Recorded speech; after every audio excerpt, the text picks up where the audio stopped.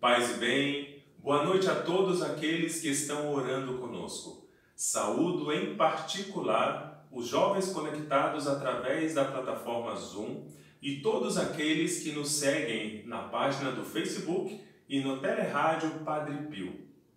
No centenário do capítulo das Esteiras, Francisco dirige uma palavra de exortação aos seus frades.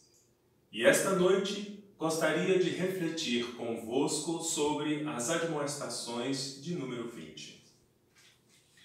Bem-aventurado religioso que não tem prazer e alegria a não ser nas palavras e obras do Senhor, e com estas levam os homens com satisfação e alegria ao amor de Deus.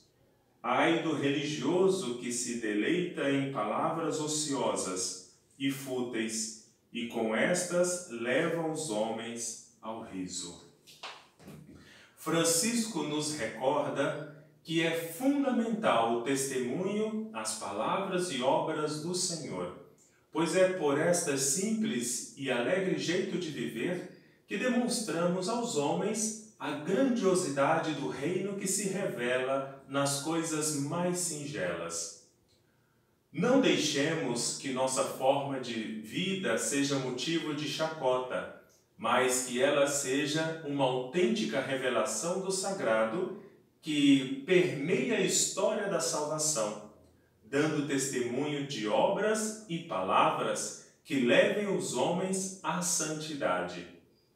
Aqueles que buscam ter uma vida como Francisco de Assis devem ser capazes de ver o mundo com os olhos de Cristo e de perceber a grandiosidade do reino que se manifesta nos pequenos detalhes, conduzindo os homens à perfeição evangélica.